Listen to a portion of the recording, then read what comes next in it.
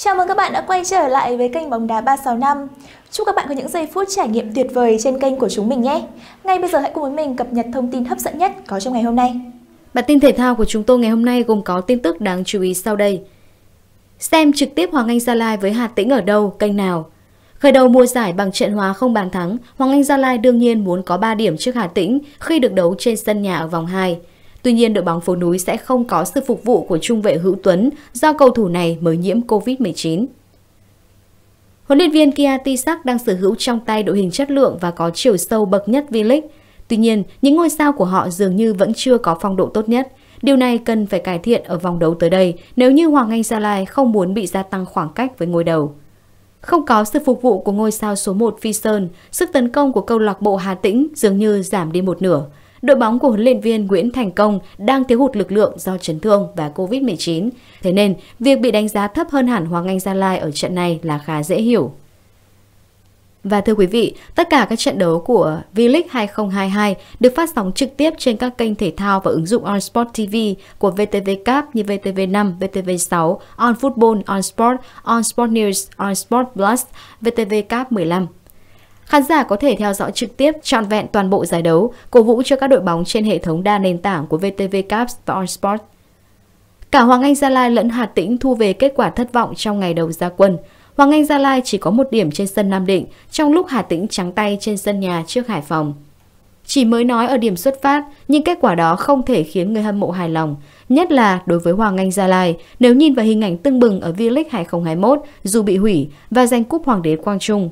Không có sự ủng hộ của khán giả khi trận đấu tổ chức trên sân vắng người, nhưng đoàn quân của ông Kia Tisak được đánh giá rất cử phách mỗi khi thi đấu trên sân Pleiku. Tiếp đội bóng không phải quá mạnh như Hà Tĩnh, đây là cơ hội để Hoàng Anh Gia Lai giành chiến thắng, đồng thời tìm cảm giác hưng phấn khát vọng vô địch. Đội hình dự kiến của hai đội như sau: Hoàng Anh Gia Lai, Tuấn Linh, Hồng Duy, Văn Việt, Barbosa, Hữu Tuấn, Văn Thanh, Xuân Trường, Tuấn Anh, Minh Vương, Brandao, Văn Toàn. Hồng Lĩnh Hà Tĩnh, Quang Tuấn, Văn Nam, Văn Hạnh, Jean Clesio, Xuân Hùng, Xuân Toàn, Olivier Paulo, Văn Hiệp, Trung học, Quách Tân, Suraka. Chuyên gia Vũ Mạnh Hải, các đội V-League truyền 2-3 nhịp đã mất bóng, xem rất chán.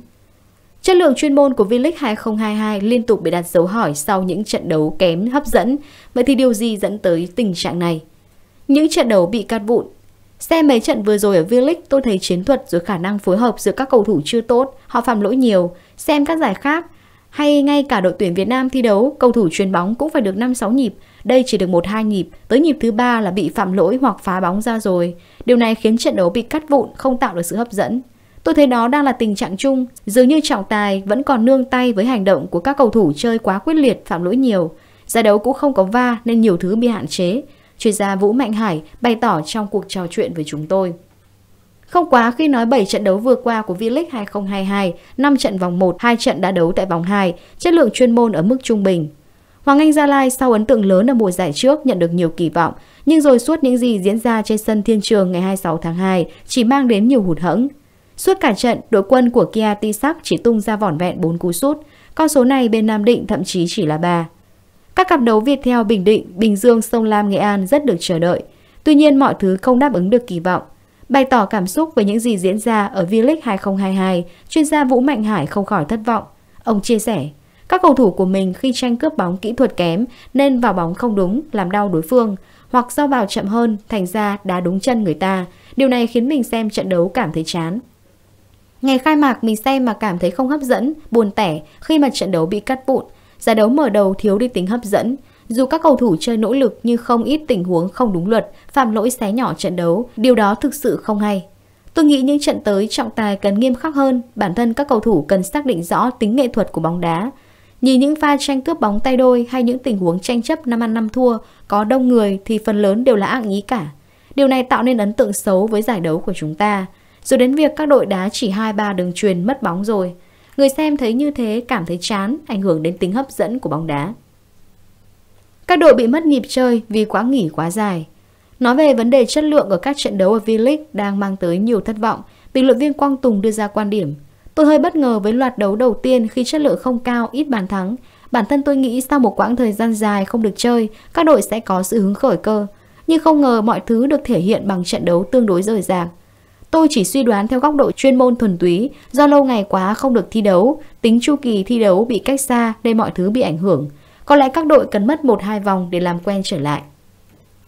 Anh trao đổi thêm, cá nhân tôi không dám chắc có đúng như thế không. Chuyện này tưởng như chỉ xảy ra ở một hai đội, nhưng rồi lại quá nhiều đội gặp phải. Tất cả các trận đều bị ờ, như vậy luôn.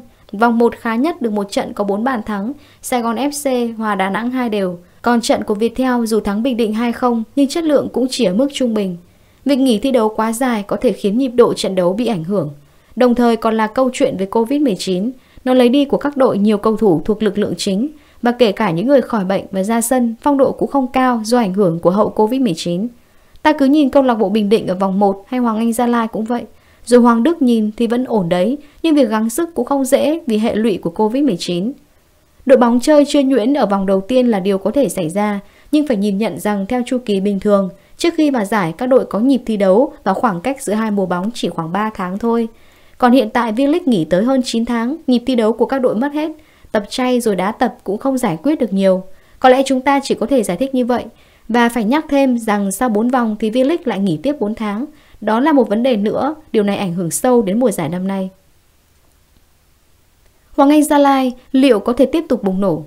Sau trận hòa không đều nhạt nhòa với Nam Định, Hoàng Anh Gia Lai đối đầu với Hà Tĩnh trên sân Pleiku ở vòng 2.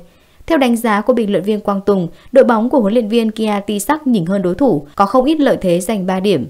Tất nhiên để làm được điều đó, Hoàng Anh Gia Lai cần sớm cải thiện những thiếu sót. Chỉ có người trong cuộc mới hiểu được trong số 25-30 cầu thủ trong tay mình có bao nhiêu người đang sẵn sàng. Giờ không chỉ vấn đề chấn thương mà còn chuyện sức khỏe, Covid-19 và nhiều thứ khác nữa. Còn về quan điểm của tôi, ngay từ trận trước tôi mong muốn có ít nhất 1-2 cầu thủ lứa U21 của Hoàng Anh Gia Lai phải được đá. Nhưng thực tế thì không phải như vậy. Những lựa chọn đều dành cho các tuyển thủ quốc gia. Đó là điều tôi tưởng Kia Tisak làm được, nhưng rồi huấn luyện viên này không làm. Đây là vấn đề cổ hữu thôi. Huấn luyện viên tin tưởng những cầu thủ chững chạc hơn là điều bình thường, Bình luận viên Quang Tùng chia sẻ. Anh nói tiếp, tôi cho rằng huấn luyện viên Kia sắc hơi thiếu mạnh dạn trong việc sử dụng cầu thủ trẻ. Trận gặp Nam Định thế trận như vậy đáng ra hiệp 2 phải thay. Nhưng thôi, có thể do đó là vòng đầu tiên. Đội muốn khởi đầu mùa giải một cách chắc chắn an toàn nên làm vậy. Có thể ở trận tới khi được về sân nhà, Hoàng Anh Gia Lai bung ra. Dù dùng ngay từ đầu hay là thay người, tôi hy vọng Kia sắc mạnh dạn hơn các cầu thủ trẻ, cho họ có cơ hội. Đó là liều thuốc kích thích cho Hoàng Anh Gia Lai, tăng cường thêm sức mạnh cho đội bóng này. Ai cũng hiểu là cầu thủ trẻ còn thiếu kinh nghiệm, nhưng cứ cho họ chơi đi rồi mọi thứ sẽ vỡ ra. Trong khi đó, khi được hỏi về cục diện cuộc đua vô địch ở V-League 2022, chuyên gia Vũ Mạnh Hải bày tỏ sự thận trọng. Ông nói, Bây giờ mới chỉ là đầu mùa giải thôi, các đội gặp nhau chỉ năm ăn năm thua, không có đội bóng nào tỏ ra vượt trội. Kể cả Viettel thắng Bình Định 2-0, nhưng thế trận cũng ngang nhau thôi. Bàn thắng đến khi đội Bình Định có vài cá nhân non yếu mắc sai lầm. Nói chung ở giai đoạn xuất phát này, chưa có đội bóng nào thể hiện được sự trên chân. Đội hình mượt mà để chúng ta khẳng định được đội bóng này sẽ có vị trí cao. Các đội bóng đều đang xuất phát ý ái cả. Cảm ơn các bạn đã quan tâm theo dõi video của kênh Bóng Đá 365. Đừng quên nhấn like, share và subscribe kênh của chúng mình để luôn luôn được cập nhật những thông tin mới nhất có trong ngày đến từ kênh Bóng Đá 365 nhé. Xin chào và hẹn gặp lại các bạn ở những bản tin tiếp theo.